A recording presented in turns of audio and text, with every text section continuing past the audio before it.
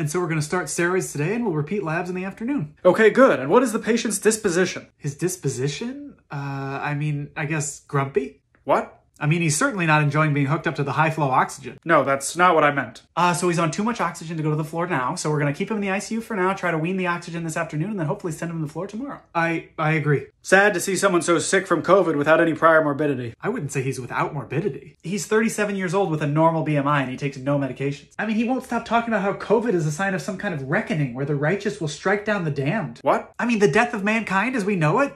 Pretty morbidity sounding if you ask me. Um, Why don't you just go work on your discharge summaries? Oh, I don't have any today. What do you mean? Jones, Crawford, and Winslow. We're sending all three of them home today. None of them had any discharge. What? I mean, I guess Jones had that really bad UTI, but I never saw any discharge. uh, Oh, wait, you're right. I forgot about Crawford. I forgot about that nasty nasal discharge she had when she came in. I'll go write that up. I'll be right back, though. Shouldn't take too long to summarize. please triple check everything he does today. Yeah, will do.